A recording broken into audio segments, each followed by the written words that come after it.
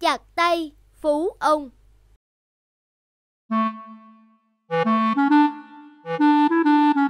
Hờ, sao tháng này chi tiêu nhiều thế không biết? Hụt so với tháng trước những mấy đồng? Ông ơi! Ông ơi! Có chuyện gì mà gọi toán lên thế? Dạ Ông cho con xin ít tiền ra chợ mua củi. Đang nấu cơm thì hết củi ông ạ. À. Củi mới mua tháng trước đã hết rồi sao? Chúng mày phung phí hay là ăn bớt tiền nên thế hả? Ấy, chúng con nào dám. Tại tháng rồi nhà mình nhiều dỗ chạp quá, Nấu nướng cũng nhiều, Nên... Không phải nói nhiều. Để hôm nay đích thân tao ra chợ mua, Xem chúng mày có bớt sáng được không. Đi theo tao.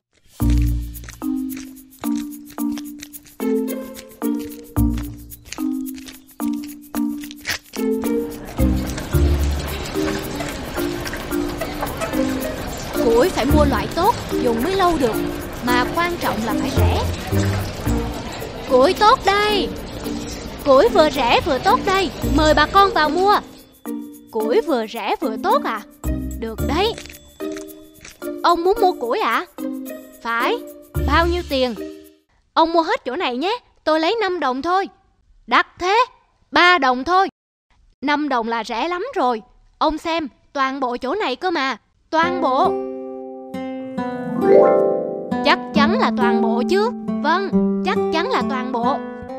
Các vị xin làm chứng giúp tôi. Chắc chắn là 5 đồng toàn bộ chứ? Vâng toàn bộ mà. Sao ông hỏi nhiều thế? Mọi người nghe rõ rồi nhé. Anh này nói sẽ bán cho tôi toàn bộ Bao gồm cả xe củi lẫn số củi trên xe với giá 5 đồng. Bây giờ tôi sẽ trả tiền và mang xe củi về. Ông... Có mọi người làm chứng anh định nuốt lời sao? Anh chàng mới đến kia xui rồi. Không biết tiếng phú hộ trương sao? Ờ Phen này thì mất cả xe lẫn củi rồi. Hừ, Thì ra hắn gài bẫy mình. Không lẽ mất trắng xe củi sao? Sao? Anh còn gì để nói không? Tôi tự nhận đã tính toán nhầm Nên đành chịu thua thiệt vậy. Tôi chấp nhận giá 5 đồng. Tốt. Thế có phải biết điều không? Tội nghiệp anh chàng quá. Ừ. Biết bị lừa mà vẫn phải chịu. Vậy ông trao 5 đồng Là phải trao tay cho tôi đấy. Đương nhiên 5 đồng và trao tay luôn. Mọi người nghe rõ cả chứ ạ? À? Ông này nói là đưa ngay tay cho tôi. Là sao? Tôi không hiểu. Hừ, Cũng bày đặt kêu mọi người làm chứng cơ đấy. Đây 5 đồng. Này Này Làm gì vậy? Anh điên à? Chẳng phải ông vừa nói sẽ đưa tay cho tôi còn gì. Bây giờ tôi phải chặt tay ông Thì mới lấy được chứ. Có mọi người làm chứng hẳn hoi Ông định nuốt lời sao? Ồ đúng rồi. Rõ ràng ông nói sẽ đưa tay cho anh ấy còn gì. Thôi chịu khó bị chặt tay vậy. Được cả xe củi cơ mà. Thôi cho tôi xin. Tôi sẽ không lấy xe củi của anh nữa. Bây giờ bàn tay ông đã là của tôi. Trừ khi ông chịu mua lại nó. Nhưng giá hơi đắt đấy 500 đồng. Ông có chịu không? Có. Tôi mua. Tôi mua. Nhưng tôi chỉ lấy 5 đồng thôi. Còn lại trả ông. Nhưng lần sau ông chớ có lừa gạt ức hiếp người khác Mà có ngày quả báo vào thân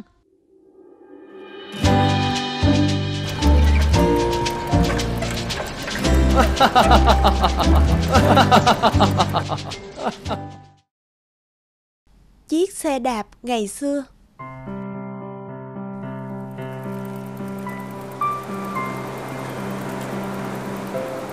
Mưa nhanh thật Anh ướt hết rồi kìa. Em cũng thế còn gì? Anh cứ ướt chút cũng chẳng sao. Chỉ sợ em ốm thôi. Em không sao.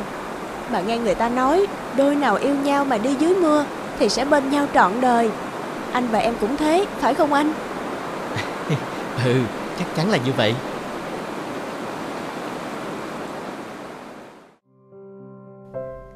Lát nhớ tới đón em nhé. Ừ em vào đi Lát anh đón.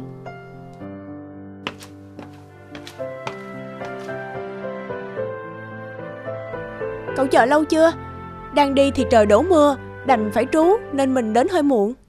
Nhìn cậu kìa Lại còn bị ướt nữa chứ Rõ là cao ráo xinh xắn. Thế mà lại đi yêu cái anh chàng chẳng một đồng xu dính túi Suốt ngày đạp cái xe đạp cọc cạch Trông chẳng xứng tẹo nào.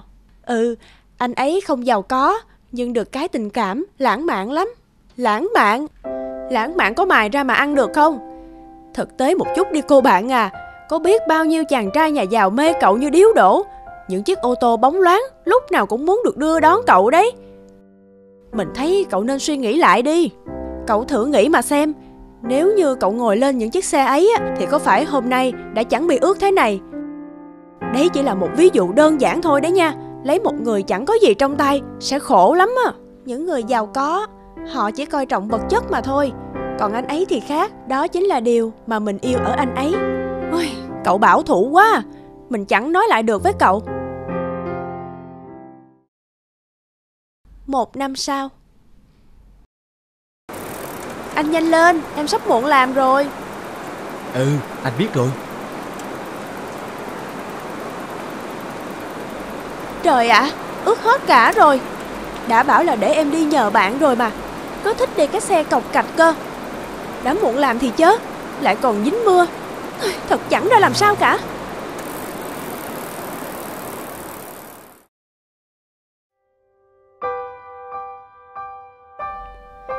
Nào thì tiền điện, tiền nước, tiền nhà.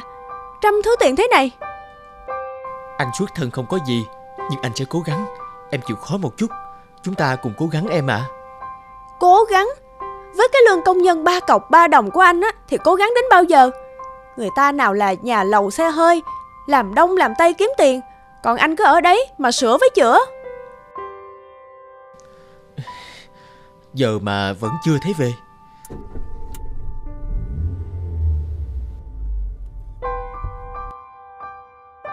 Sao dạo này em hay về muộn thế? Anh không cần phải quan tâm Sao lại không quan tâm? Chúng ta ly hôn đi. Em nói gì? Em nói chúng ta ly hôn đi. Em không thể sống mãi cuộc sống lúc nào cũng mệt mỏi với cơm áo gạo tiền lắm rồi. Nhiều năm sau. Băng nhiều cà rốt thế. Có cần tớ giúp gì không? À, à, à tớ đang thu hoạch cà rốt mang về nhà để chuẩn bị cho mùa đông. Năm nay mẹ tớ ốm nên một mình tớ không biết có thu hoạch xong không nữa. Tội nghiệp cậu. À thế này nhé. Tớ sẽ giúp cậu thu hoạch cà rốt. Cậu sẽ giúp tớ à? Hay quá. Cảm ơn vịt rất nhiều.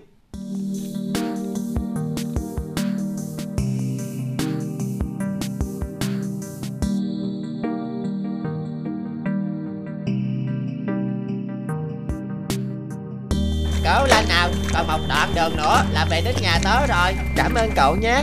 Nhờ có cậu mà tớ chỉ mất một ngày để thu hoạch cà rốt Tớ sẽ không phải lo mùa đông đến nữa rồi. Có gì đâu. Thôi tạm biệt cậu nhé.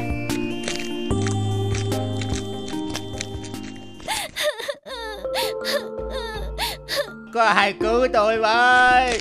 Lão con Cậu bị làm sao thế này? à, Vịt ơi, Chân tôi bị kẹt giữa hai hòn đá, Đau quá không lấy ra được. Đừng lo, Tớ sẽ giúp cậu.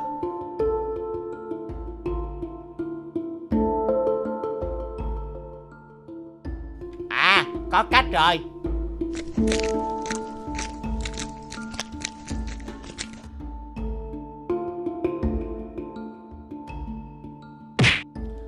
Ơi tớ thoát rồi thoát rồi, vịt ơi. À thấy à? May quá. Trời sắp tối rồi đấy. Cậu nên về nhà sớm đi không mẹ cậu lo lắng. Ừ cảm ơn cậu. Tớ đi đây.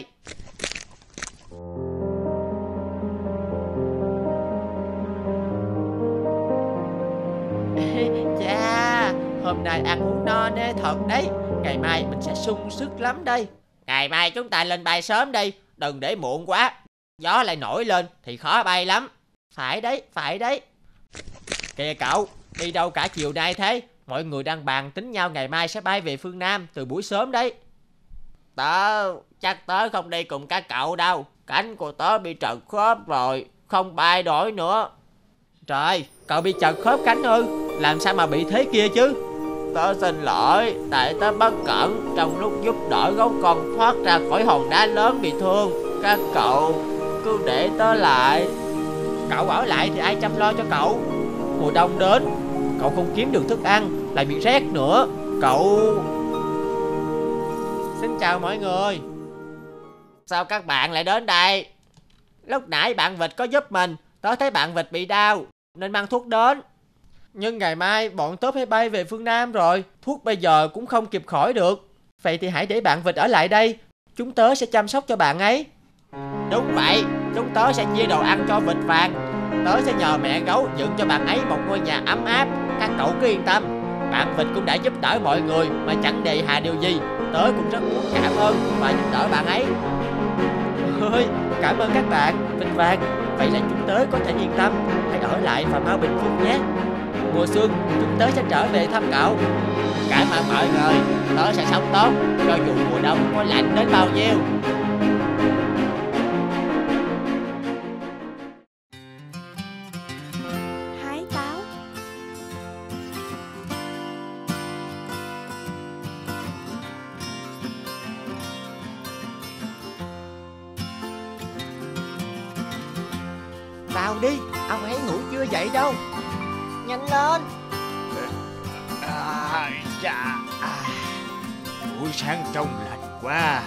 Ông Tham dậy rồi, chạy mau. Đứng lại, đứng lại ngay. Vũ tranh con, tao mà bắt được chúng mày thì... ờ, lại mất tôi mấy quả chính rồi, tức thật. Từ mai, đừng hòng lấy trộm của ông.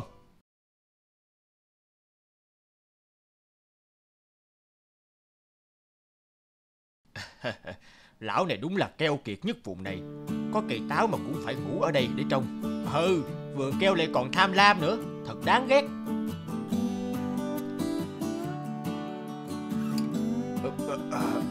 Trời sáng rồi à. Ông Tham ơi, táo ngon quá, cho xin mấy quả táo nào. Táo này độc lắm. Chỉ có tôi ăn được thôi. Đúng là keo kiệt mà. Ông mày keo kiệt đấy thì sao? Chúng mày thích ăn táo thì tự về mà trồng nhé. Lão Tham này, phải dạy cho lão một bài học mới được. Bác Tham, Có chuyện gì thế bác cho tôi ít táo được không? Không được Táo này ngoài tôi ra Thì không ai được ăn Ê, bác không hiểu ý tôi rồi. Tôi sang mời ông chiều nay đến nhà tôi để ăn thịt hươu. Tôi xin vài quả để nướng cho thơm thịt. Ờ, thịt hươu Bác không biết đấy chứ, thịt hươu mà nướng chung với táo thì ngon phải biết. Bác không cho thì thôi vậy, để tôi à, ra chợ mua. ấy ấy sao anh không nói ngay từ đầu ừ, anh cứ hái đi cần bao nhiêu cứ hái Ờ, sao bác bảo táo này chỉ mình bác được hái? chỉ mình tôi với à, thịt hươu của cậu nữa Được, vậy à, tôi không khách sáo nhé. Chiều nay mời bác qua nhà tôi đánh chén nhé. Ờ, nhất định rồi chiều nay được ăn thịt hươu rồi. Ôi chào ơi có chút táo mà đổi được cả bữa thịt hươu mình trồng nó đúng là không uổng công. Ông Tham, có chuyện gì? À tôi muốn xin ông ít táo. hả? Lại xin táo? Ê, thôi thôi. Không được không được. Táo sầu hết rồi. Hey, tiếc thật. Đang định xin ông ít táo về làm món gà hầm để chiều mời ông sang. Thôi vậy. Ờ, gà, gà hầm à Ờ, thế lấy đi ờ, Anh vào đây Ê, Sao muộn thế này Mà thằng dần chưa đến gọi mình đi ăn thịt hươu Ê, Đói quá đi mất Ông Tham, thế nào? Ông chuẩn bị đi chưa? à, Đi, đi thôi Đến nhà tôi ăn thịt hươu nào? Đến nhà tôi ăn gà hầm chứ? ờ, à, à, Chết rồi à, à, Mình không để ý nhận lời cả hai Giờ chọn ai bây giờ Sang nhà tôi. Nhà tôi chứ. Ông đi với tôi. Không, ông đã nói là sang nhà tôi mà. Sang nhà tôi. Nhà tôi. Ờ, ờ, ờ, ê, ê, chết. Ông có sao không? Chúng tôi mạnh tay quá. Đau quá Làm gì mình tranh nhau dữ thế Ờ thôi ăn thịt hươu trước Rồi ăn thịt gà sau nhé Nào đi Sao thế này Không được Hình như sái chân rồi thì phải Mà tay cũng đau quá Sái chân thật à? Ừ, thôi cố mà đi. Để tôi dịu ông. Không được Không được Hãy nhấc tôi vào gốc táo Dựa vào đó nghỉ một lát đã Vậy ông cố nghỉ đi nhé. Khi nào đỡ thì đến nhà tôi. Tôi chờ. Vậy hâm nóng nó lên vậy.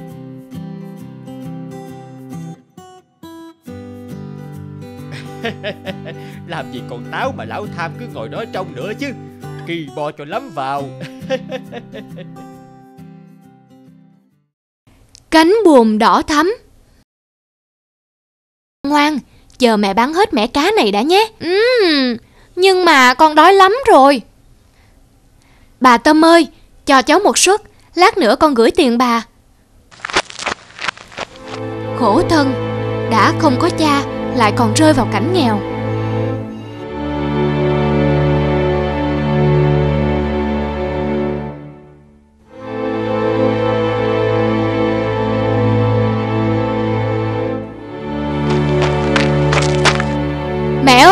Chúng nó bảo con là đứa trẻ không cha, phải không mẹ?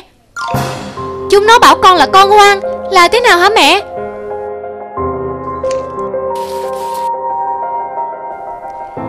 Cha con đang đi làm ăn ở nơi xa kia kìa. Đó, trên chiếc thuyền đó, con thấy không? Cha con ở trên con thuyền có cánh buồm đỏ ư? Bao giờ cha sẽ trở về hả mẹ? Khi nào con lớn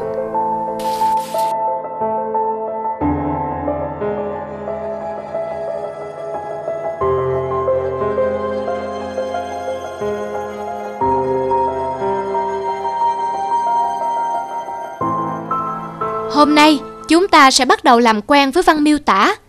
Giờ cô cho các em 15 phút để viết một đoạn văn tả về người cha thân yêu của mình. Sau đó chúng ta sẽ đọc bài cho nhau nghe để tham khảo nhé. Dạ, vâng ạ.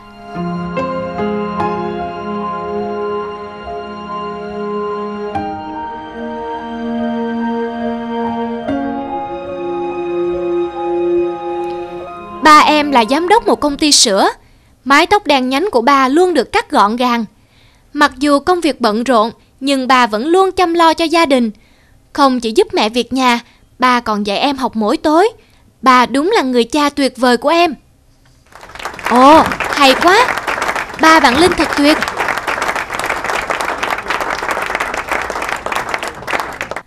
Chỉ còn mình Hải là chưa đọc bài của mình thôi đấy nhé. Hải đọc bài được chưa con? Hải ư? Nó làm gì có cha? Ừ, nó là con hoang mà. Nào, hãy đọc đi con. Ba em là thủy thủ. Mẹ nói rằng ba có thân hình cao lớn và một đôi mắt đen lấy, sâu thẳm. Ba làm việc suốt ngày trên biển. Trên những con thuyền có những cánh buồm đỏ thắm. Một ngày không xa nữa, ba sẽ trở về đón mẹ và em. Nói láo, nói láo, nó làm gì có cha? Nó không có cha đâu. Không, mình có cha. Mẹ nói mình có cha. Cả lớp trật tự.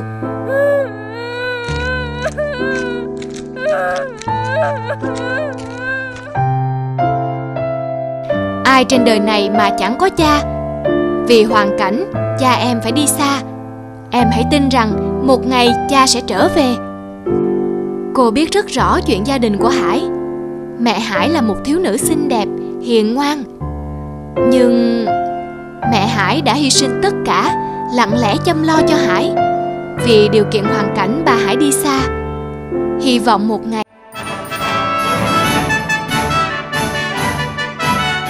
Hãy like, comment, subscribe kênh để xem thêm những video mới nhất nhé!